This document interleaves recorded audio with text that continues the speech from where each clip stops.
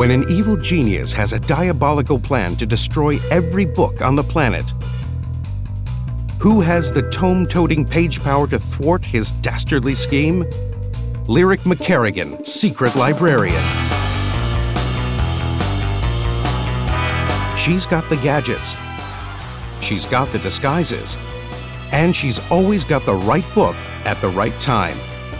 It's a good thing, too, because Lyric McKerrigan is the world's last hope.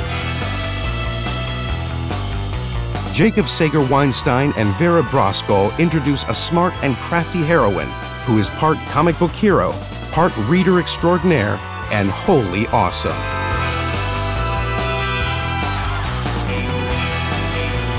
Dreamscape presents Lyric McKerrigan, Secret Librarian, saving the world with the right book at the right time.